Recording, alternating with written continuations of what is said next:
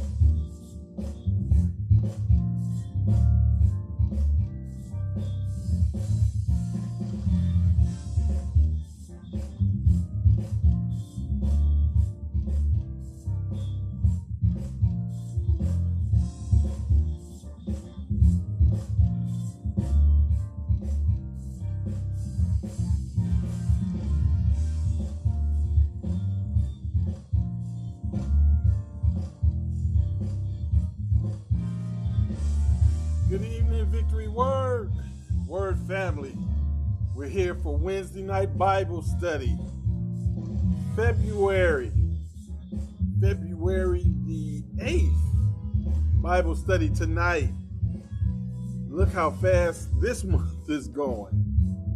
We are so grateful, we're thankful that we're here in the house, in the sanctuary for Bible study with Victory Word and our Word family.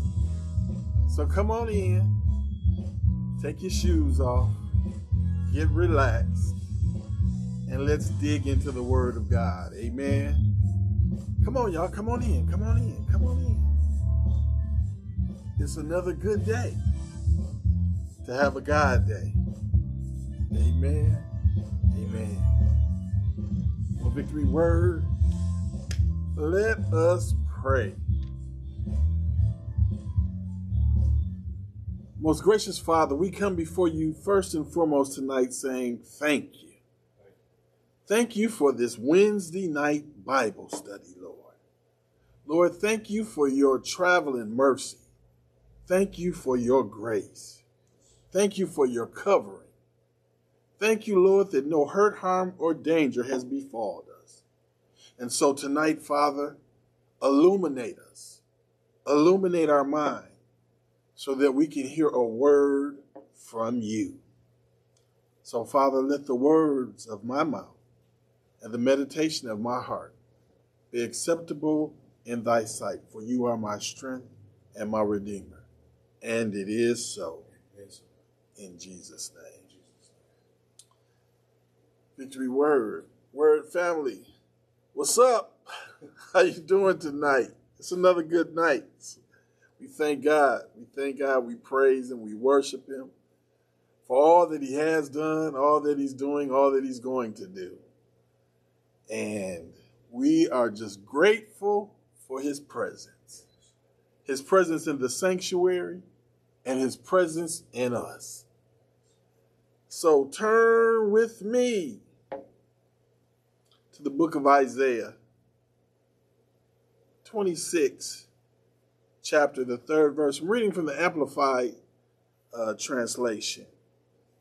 And the Word of God says, You will keep in perfect and constant peace the one whose mind is steadfast, that is committed and focused on you in both inclination and character, because he trusts and takes refuge in you with hope and confident expectation. And now we're going to go to Philippians, the fourth chapter, verses 1 and 6. Therefore, my brethren, whom I love and yearn to see, my delight and crown, wreath of victory. Thus stand firm in the Lord, my beloved. Do not fret or have any anxiety about anything, but in every circumstance and in everything by prayer and petition, definite requests with thanksgiving, continue to make your wants known to God. Victory Word, Word family, tonight I want to teach from this sermon topic or from this biblical uh, Bible study topic. I want to teach you or ask the question Am I focused? Am I focused? Are you focused tonight? Second month of the of the new year. And we have to ask ourselves, are we still focused, razor sharp focused as we were January 1? You have to ask yourself that question.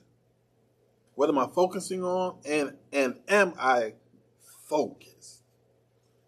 Got a question to ask you. Have you ever met someone who thought they were so educated beyond their intelligence, knew everything but how to fulfill their own purpose in life? People who think they know more than they do, or that they always have the right answers no matter what. I've met I've met my share of church folk who felt they're more spiritually mature, advanced beyond all other believers. I know that somewhere in the Bible there is a verse or verses concerning patting oneself on the back and being deceitfully prideful. I've had conversations with with know-it-all church folk who said who said the word focus is not in the King James Bible. And I hurry up and said that, that, that the word focus is in the Amplified, it's in the Message, and the New Living Translation. But the Know Everything person said that might be true, but it ain't in the King James Bible. And I pointed out that while the word focus is not in the King James Version, what it means is I get so tired of super saved folks got all the degrees, but don't know room temperature. Pick your word. Whatever we focus our attention on is what will dominate our thoughts. Whatever you have your focus on, that's what dominates your thoughts on a regular basis. Proverbs 23 7 in the King James Bible says it this way For as he thinketh in his heart, so is he. What are you thinking? Well, however you see yourself, that's how you that's that's who you are. How you see yourself. Verse 7 in the Living Bible says, if you do this, you will experience God's peace, which is far more wonderful than the human mind can understand. His peace will keep your thoughts and your heart quiet and at rest as you trust in Christ Jesus. And in the eighth verse in the Amplified Bible, it says this For the rest, brethren, whatever is true, whatever is worthy of reverence, and is honorable, and seemingly whatever is just, whatever is pure, whatever is lovely and lovable, whatever is kind and winsome and gracious, if there is any virtue and excellence, if there is anything worthy of praise, think on and weigh and take account of these things. Fix your minds on them. In other words, stay focused.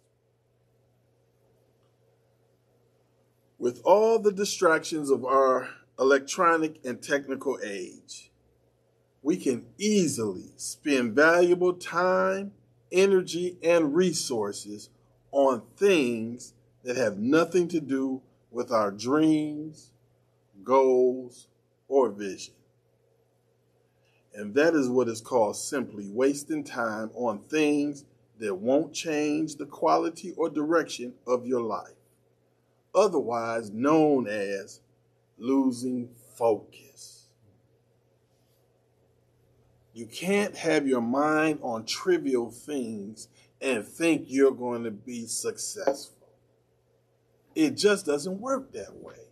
You have to keep your eyes stayed on the prize in the direction that God has called you to, to focus on or to focus in.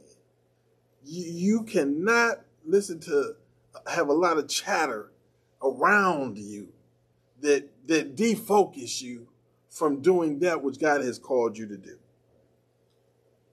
See, the first example of losing focus appears in Genesis, the third chapter, first through the third verses. And it says this Now the serpent was more subtle than any beast of the field which the Lord God had made.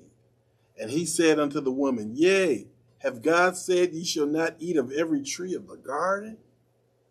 And the woman said unto the serpent, We may eat of the fruit of the tree of the garden, but of the fruit of the tree which is in the midst of the garden, God had said, Ye shall not eat of it, neither shall ye touch it, lest ye die. What happened in this text? We see the enemy broke Eve's focus by distorting the truth. As far as we are told through scripture, God didn't say, Neither shall ye touch it lest, lest you die. He merely said, Don't eat it. Because the enemy broke Eve's focus on God's instructions, she was distracted from the truth. How many times have we been distracted from the truth and as a result of the distraction, lost our focus? Of course, we need to first know the truth of the word. Genesis 3 4 through 6 says, And the serpent said unto the woman, Ye shall not surely die. For God doth know that in the day ye eat thereof, then your eyes shall be opened, and ye shall be as gods, knowing good and evil. And when the woman saw that the tree was good for food, and that it was pleasant to the eyes, and a tree to be desired to make one wise, she took of the fruit thereof and did eat, and gave also unto her husband with her, and he did eat. Once again, the serpent breaks Eve's focus when he said, Ye shall not surely die. Eve was distracted by the fact that the tree was good for food. She was distracted because the tree was pleasant to look at. Eve did more than bite into what was forbidden. She bit into the devil's assertion that the fruit of the tree would make one wise, even wise as God. So she bought into the enemy's words. Victory Word, Word Family, what are you buying into? I pray that you're buying into the Word of God and not listening to other people who don't even spend a tenth of their time even reading the Word of God. We listen to so many people. We get so caught up in, in other things that we lose out on what God has for us, listening to someone else who don't even have our our heart or they don't even have enough in them for themselves. So if they don't have enough God in them to help them do what they need to do, how are you listening? Why are you listening to someone who don't have enough in their own self to keep them going in the path that God would have them to go? The Lord describes this age-old trick of the enemy in 1 John 2:16 in the NIV translation. For everything in the world, the lust of the flesh, the lust of the eyes, and the pride of life comes not from the Father, but from the world. The progression is easy to see. Eve lusted after something she didn't have. She saw its attractiveness with her own eyes, and she wanted to be as smart as God. That is classic deception. We will never, we can have the mind of Christ, but we will never be as smart as God. His, his thoughts are not our thoughts. His, his, his ways are not our ways. And the more and more that you get in him, the more you become like him, you still will never be to the, to the extent to the extent of who he is. He the, the, the old saints used to sing a song that that he's so high that you can't go over him. He, he's so wide that you can't go around him. He's so low you can't go under him. You got to come in at the door. That's the only way. You have to come in at the door. We need to remember that no one, hear me good right here, Victory no one can give us something that is beyond God's ability to give to us. I'm going to say that again. we need to remember that no one can give us something that is beyond God's ability ability to give to us. Whatever the world can offer us, God can give us greater and better. Did you hear what I said? God can give us whatever the world has to offer. God, his stuff is better, whatever it is. His is much better.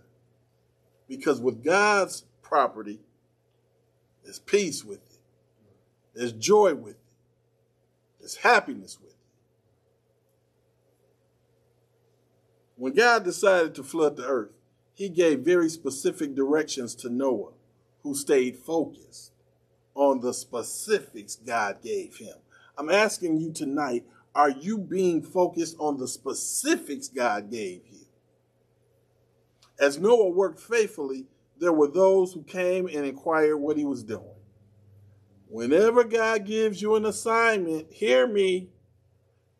Whenever God gives you an assignment, there will always be those who come along to distract you from your vision. Yeah, yeah. Whenever God has his hands on you, there's always going to be something or someone that tries to get you defocused off of the assignment. And I need you to remember this.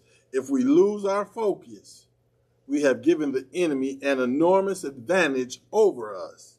If we lose focus, then we go negative by speaking doubt and unbelief. In life, word family, we either live by faith or we live by fear, but not both. You can't say you trust God and you're fearing all the things around you, your your environment. I'm worried about this, worried about that. No, no, either either either you're gonna have faith that he'll do just what he said he will do, or you're gonna fear and allow the carnal man to have control over the spiritual man. And as we being kingdom citizens, living by a kingdom system, there's no way that fear should be even in our vocabulary. The only part of fear is where the word of God says, the fear of the Lord is the beginning of knowledge. That's the only fear that we should have, and that is the fear of the Lord. Here's a, here's a New Testament example of people losing focus in Acts, the third chapter, uh, the second through the fourth verse, in the, in the Amplified translation, it says, When a certain man crippled from his birth was being carried along, who was laid each day at the gate of the temple, which is called Beautiful, so that he might beg for charitable gifts from those who entered the temple. So when he saw Peter and John about to go into the temple, he asked them to give him a gift. And Peter direct his, directed his gaze intently at him, and so did John, and said, Look at us. Look at us. Now, that may seem like a strange thing for Peter to say, Look at us, or as the King James Version says, Look on us.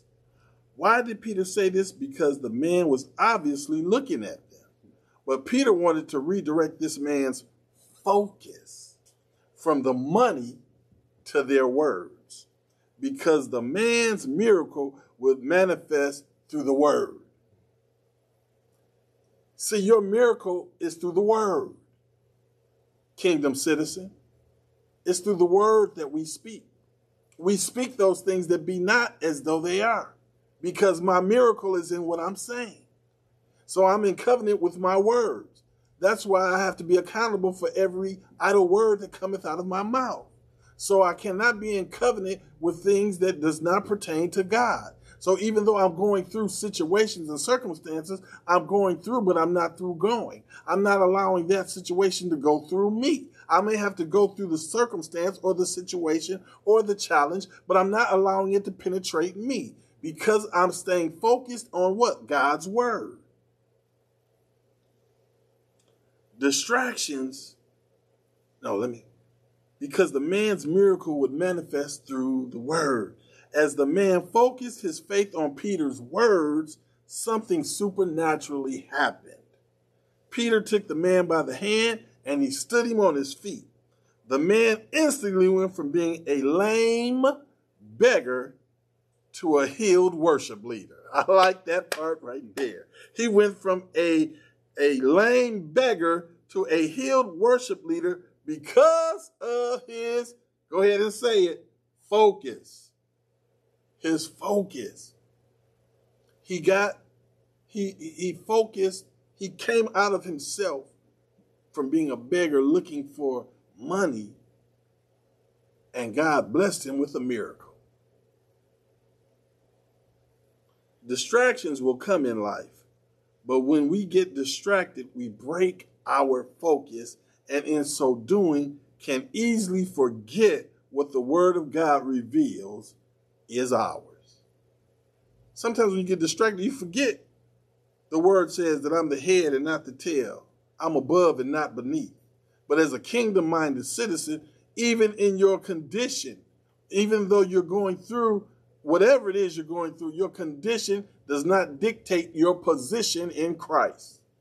And we have to remember that. Yeah, I may not have everything, but I have everything. I'll say that again. I may not have everything, but I have everything. When I have the Lord, Jesus, the Christ, Spirit in me, I have everything I need. I just have to stay focused and in remembrance of God's word.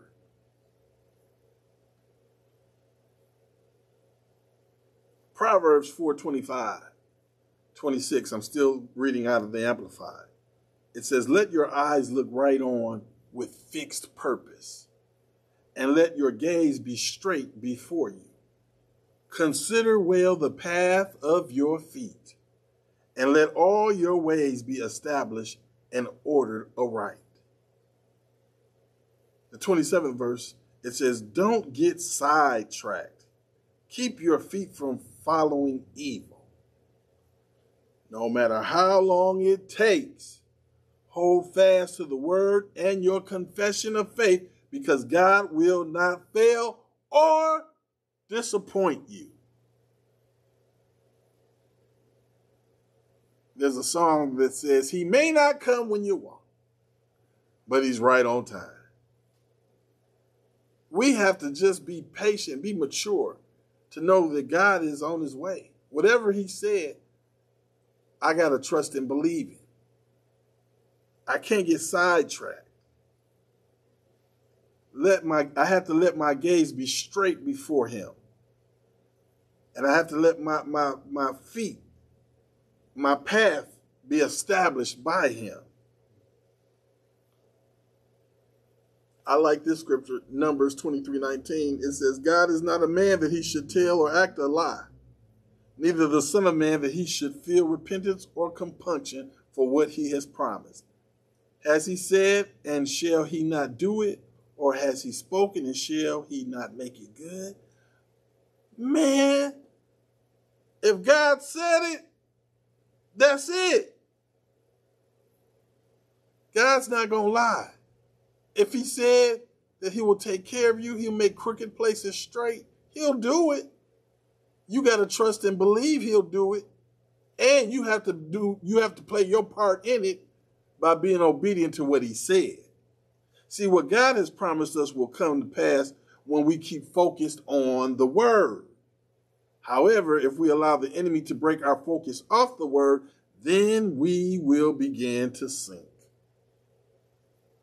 Sink into what? Our own trouble, our own frustration, our own negative thinking.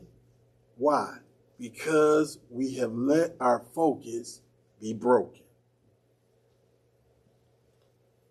I got, I got, I got another scripture for you. Matthew 14, 28 through 31. This is at the NLT. It says this. Then Peter called to him, Lord, if it is really you, tell me to come to you walking on the water. Y'all remember the story. You remember. He said, and Jesus, yes, come, Jesus said. So Peter went over the side of the boat and walked on the water toward Jesus. But when he saw the strong wind and the waves, he was terrified and began to sink. Save me, Lord, he shouted. Jesus immediately reached out and grabbed him. You have so little faith, Jesus said. Why did you doubt me? There's several observations about Peter's walking on water experience that I want to touch just just for a few more moments. Actually, this this, this is so good. We're gonna have to do this in two parts. All right. So this is part one. First, the scripture says Peter went over to the side of the boat. This was not no rowboat or some little little little. This was a real boat, a big boat. And Peter got out of the boat and walked on the water. As long as Peter was looking, watch this. As long as Peter was looking to the word, he didn't sink. Woo! He was looking to the word, Jesus. The word made flesh and dwelt among us. That's what the Bible tells us. Jesus became the Word and walked among us. So Peter is doing what? He asked Jesus, if that's you, let me bid me to come. And he said, Come on. And he's walking on the water because what? He's focused on the word. Victory word, that felt I, I, I almost want to shout. I got a little goosebumps on that. I could preach it, but I'm just teaching tonight. What word are you focusing on? What what what are you focusing on?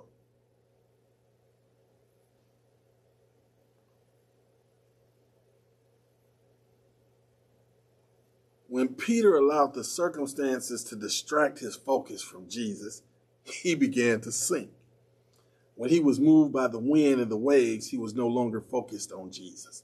Ah, yeah, yeah, yeah. What circumstances and situations are going on right now in your life that have you focused on something other, something else other than God? Is it, is it your finances? Is it your health? Is it whatever it is that the enemy has tried to, try to deceive you with by telling you, oh, you're sick, so you can't be of God. Oh, you don't have this and you don't have that. And I'm telling you not to lose your focus on who you are, whose you are, and don't lose your focus on the Word of God.